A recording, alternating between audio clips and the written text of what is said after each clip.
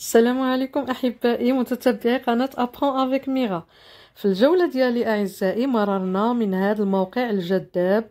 أحببته فأردت تقاسمه معكم. ويدعى القرية الملونة أو قرية الصيادين.